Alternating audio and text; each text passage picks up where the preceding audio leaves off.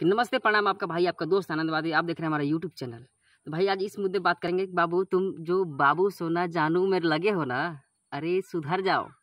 एक दिन ऐसा दिन आएगा, साला यही बाबू, सोना कहने वाली लड़कियाँ तुमको मार के निकल जाएँगी। दरअसल बात यह है कि सीमा हैदर का देख लो। तीन तीन को चाचा को लेके लेके आ गई एगो को छोड़ के। तुम्हारा टिके की कोई ठिकाना नहीं है। तो इस दुनिया में है ना बाबू, पैसा कमाइए, पैसा। पैसा है तो सब है। पैसा नहीं है तो घंटा कुछ भी नहीं है।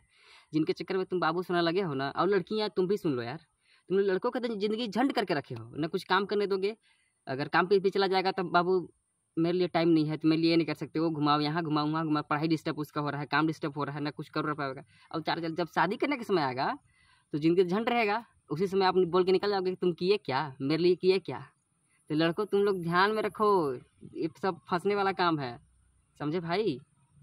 और बता दें कि हर लड़की ऐसे ही होती है यार। पैसा देखिए प्यार मोहब्बत एक दिन आपका बिक जाएगा सब। पैसा का नीचे ना, पैसा के वज़न भारी पड़ेगा ना तो प्यार मोहब्बत सब नीचे।